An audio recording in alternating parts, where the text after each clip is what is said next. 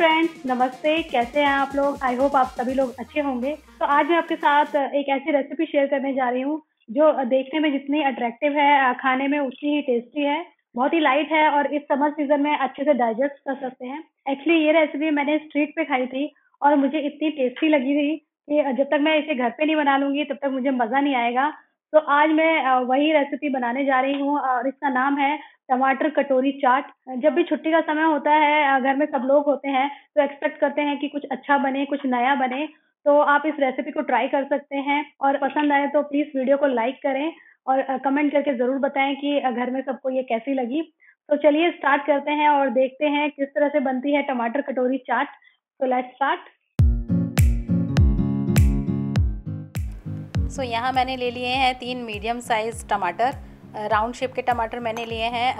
आप अपनी मर्ज़ी से जितने भी ले सकते हैं फैमिली के अकॉर्डिंग एक बाउल में बेसन ले लेंगे और बेसन का एक थिक पेस्ट बना लेंगे।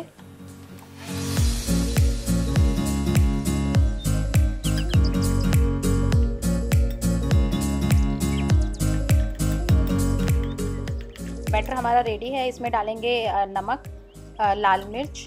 और थोड़ा सा गरम मसाला।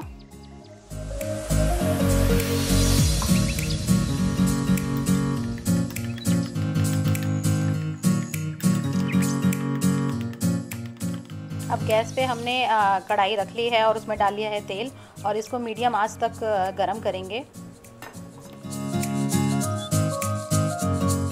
अब कुछ नहीं करना है, बस सिंपली इन टमाटर को लेना है और इस बेसन के बैटर में अच्छे से इसको कोट कर लेना है। टमाटर पे अच्छे से थिक लेयर बेसन की लगा लेनी है और हमें अपने तेल में इसको अच्छे से धीमी आँच पे सेक लेना है।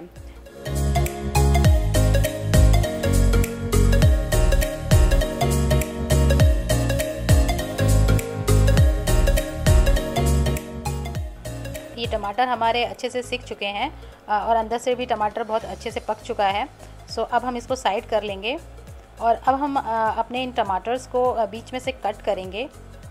कुछ इस तरह से हम इसे कट करेंगे और अंदर का टमाटर बहुत ही स्मूथली बाहर कर लेंगे। बस कुछ नहीं करना है, सिंपली लेना है और इसे पलट देना है और टमाटर अपने आप से अलग हो जाएगा। और ये बन गई हमारी टमाटर की कटोरी।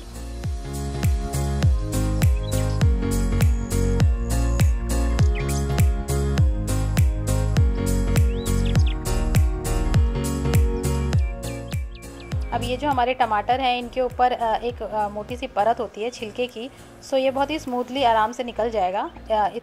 इस लेयर को निकाल के हम अलग कर लेंगे और टमाटर्स को अच्छे से मैश कर लेंगे।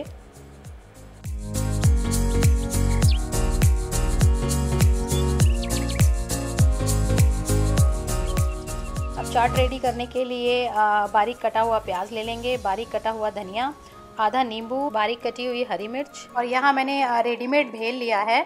इसकी जगह आप अलग से मुरमुरे ले सकते हैं अलग से नमकीन डाल सकते हैं। आ, लेकिन ये मैंने इंस्टेंट बना हुआ फटाफट भेल का पैकेट लिया था और ये वही है। मैश टमाटर्स के अंदर हम आ, इन सबको डाल देंगे। आ, प्याज धनिया धनिया हम थोड़ा बचा भी लेंगे बाद में गार्निश करने के काम आएगा।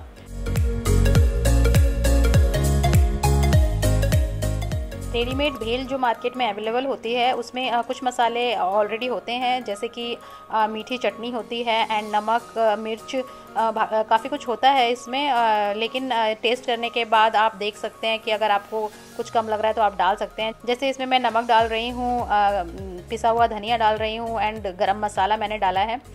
अगर आप वाइट मुरमुरे यूज़ कर रहे हैं तो आप इसमें हल्का सा सॉस डाल सकते हैं जिससे बहुत अच्छा टेस्ट आता है।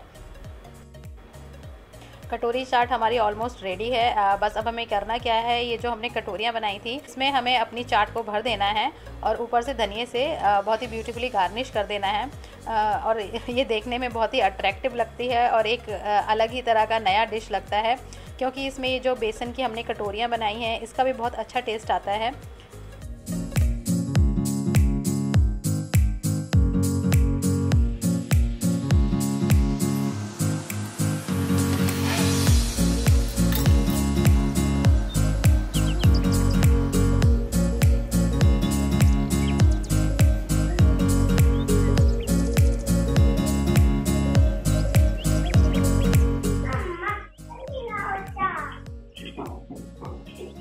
तो गाइस चाट इज़ रेडी ये चाट रेडी है और बहुत ही जल्दी बन गई है। इसमें इतना टाइम नहीं लगा है। इसकी स्टफिंग बहुत ही इजी होती है और बहुत ही हेल्दी है ये। इसमें मुरमुरे जो कि बहुत ही लाइट होता है। अनिका ट्राई करो। मम्मा खिलाएगी तुम्हें। तो अनिका को टेस्ट कराते हैं। तो बहुत अच्छा है। And it has peanut also peanut peanut मूफली तो मैं भी ट्राई करके देखती हूँ। ट्राई करते हैं और बताते कैसा है। डिलीशियस ये चाट बहुत टेस्टी बन गया है और मुझे तो बहुत टेस्टी लग रहा है। कुछ हल्का, कुछ कुछ अलग और कुछ डिलीशियस चीज़ है। तो आप अफकोर्स इसको ट्राई करें और फ़ेमस कर दें इस रेसिपी को। और वीडियो को लाइक करें शेयर करें एंड सब्सक्राइब माई चैनल जल्द मिलूँगी आपसे नई वीडियो के साथ। पहले मैं इसे खाऊँगी, उसके बाद। Yeah.